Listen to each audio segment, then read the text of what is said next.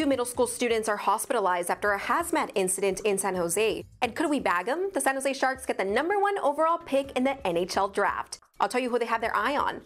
I'm Diana San Juan. Let's get you synced in. Really scary moments for students and staff at a San Jose middle school who experienced difficulty breathing Wednesday morning. It happened around 9 a.m. at Sunrise Middle School.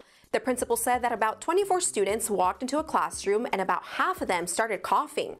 Emergency crews were called, and by the time they showed up, most students felt better, but two of them were taken to the hospital for further evaluation. The hazmat team says the classroom contained elevated levels of carbon dioxide, and the source has since been removed and the classroom aired out. Normal classes resumed before 11 a.m. Now let's go to San Francisco, where a neighborhood is on edge after a black man says he's been the target of two racist threats in the last two weeks. Terry Williams lives near Alamo Square and says messages of hate have shown up right at his front door. It happened first on April 26th and then again just this Sunday. He says the second was worse than the first, and though he's lived in San Francisco his whole life and occasionally experienced racial slurs, it's never been like this. They printed up something about black people on stuff that we, they said to us in slavery days. Nothing ever like this ever in my life, ever. And I asked my friends, have you went through something like this? I heard of stuff in the 80s, or like 70s, but nothing, nothing, nothing of this nature. Williams has been a professional dog walker for decades, so he's often seen around the area. He thinks someone might have followed him home and targeted him. There's some surveillance video from the neighborhood, but it's hard to get a good look at the suspect. Neighbors say Williams is a kind person and are shocked that this is even happening. They're rallying around him, making sure the suspect is found and held responsible. Police are investigating.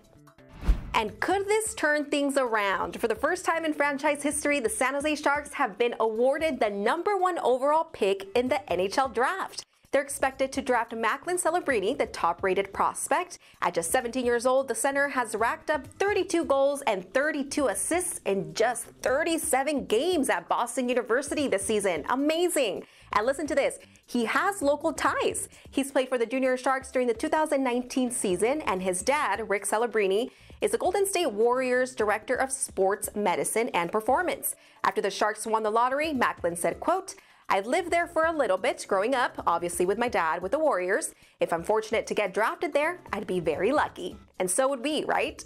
For more on this story, head over to NBCBayArea.com slash sports.